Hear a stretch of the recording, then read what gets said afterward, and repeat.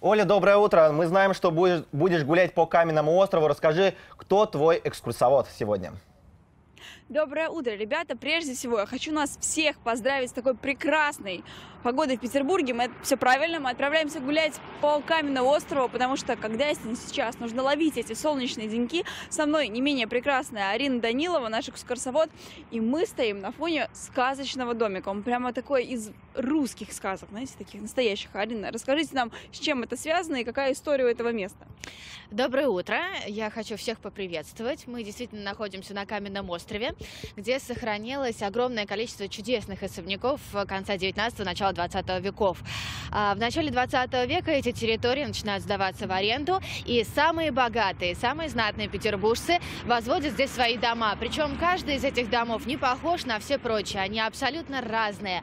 И вот мы с вами э, сейчас находимся у дома в неорусском стиле. Этот стиль был очень моден в начале 20 века, поскольку в таком вкусе строились очень многие постройки. И... Тут, кстати, сохранились, вот я забавлю, мы проезжали, когда по Каменному острову, сохранились еще такие дома, я заметила, так что, друзья, хотите полюбоваться, вам на Каменный остров. Так, да, да, совершенно точно. А, такой стиль очень нравился государю Александру Третьему, Николаю II, поэтому, естественно, и в высоком обществе этот стиль тоже получил огромное распространение. Но этот дом уникален, насколько я знаю, он абсолютно не тронут был пожарами и прочими неприятными вещами, которые обычно случаются с историческими постройками. Да, это удивительно, потому что после революции. Дом княгини Кугушевой национализировали, он стал принадлежать государству, отдали под коммунальные квартиры, поэтому, к сожалению, от Внутри уже ничего да, нет, да? от интерьеров уже мало что осталось на сегодняшний день, но, тем не менее, дом не горел, поэтому он оригинальный, это аутентичная постройка. Вот взгляните на эту чудную башенку, она действительно выглядит очень романтично, и дом нам напоминает э, многочисленные русские сказки и иллюстрации Васнецова, многих других русских художников. Ну, давайте сейчас расскажем всем телезрителям, которые, я уверена, воодушевились, свободный ли вход вот, на территорию этого особняка, может быть, вовнутрь?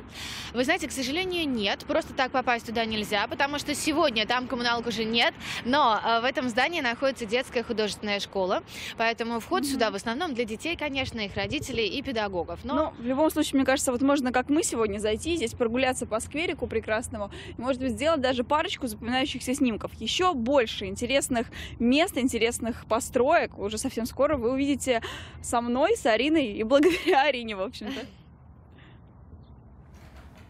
Оля, спасибо. Везет тебе чудесная погода. Ты гуляешь, узнаешь что-то новое. И везет всем нашим телезрителям, потому что они вместе с тобой мысленно. Оля, еще раз доброе утро. Но я не сомневаюсь, что Каменный остров а, это просто кладезь э, интересных зданий и интересных историй, не так ли? Доброе утро, ребята. Катя, ты, конечно, права, и я еще от себя добавлю, что я вот становлюсь фанатом этого места. Друзья, если вы любите велопрогулки, обязательно отправляйтесь сюда, прекрасная атмосфера, воздух совсем другой, как бы банально это не звучало, и что очень интересно, мы доехали сюда в такое, казалось бы, пробочное время, без пробок, без каких-либо трудностей. Арина Данилова, экскурсовод, который сегодня с нами покоряет, изучает Каменный остров, рассказала мне, кстати, что экскурсионные группы сюда не так активно ходят, так что э, не бойтесь очередей в разные интересные места. Кстати, об одном из них мы расскажем прямо сейчас. Ну вот что за красивое здание за нашими спинами сейчас? Это Каменноостровский театр. Театров в Петербурге очень много, но этот по праву претендует на звание самого-самого оригинального, поскольку это полностью деревянная постройка, которая скоро исполнится уже 200 лет. Э, действительно, этот театр театр действует с 1820-х годов. Это бывший императорский театр. Здесь ставился и балет, и опера, и драма. И очень много аристократической публики приезжало сюда на театральные представления. Интригует это, конечно. Ну, давай такой, давайте главный вопрос обсудим. Можно ли зайти внутрь? Конечно, можно, да. Сегодня это вторая сцена Большого драматического театра. Здесь идут очень многие постановки.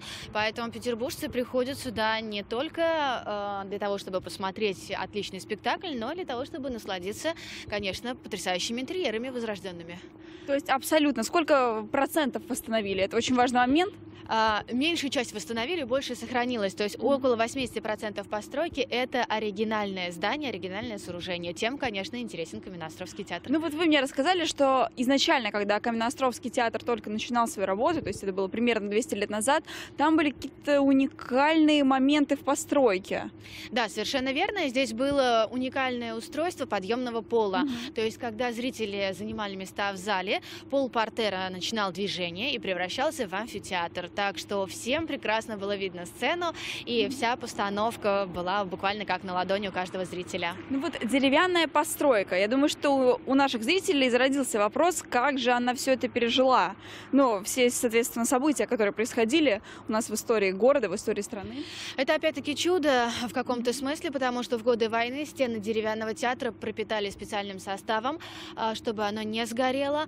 А, когда шли военные действия во время блокады, во многих здешних особняках располагались госпитали, и в театре устроили кинозал, чтобы выздоравливающие бойцы Красной Армии могли прийти сюда и посмотреть киноленты, да, как-то отвлечься вот от той тяжелой обстановки, которая была в нашем городе с 41 по 44 год. Ну, в общем, мы понимаем, что кинотеатр, э, театр э, не всегда использовали по назначению, в общем-то. И э, когда он снова стал такой официальной действующей сценой? Когда это произошло? В какой момент? В какой год?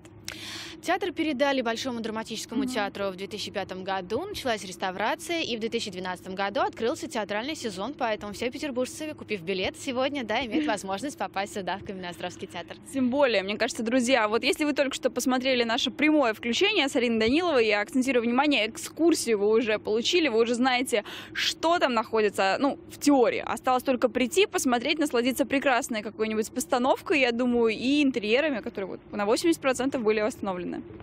Да. Оля, спасибо тебе за очередной интересный рассказ. Твоей собеседнице тоже огромное спасибо. И не прощаемся с тобой. Ты продолжаешь прогулку, мы продолжаем за тобой следить.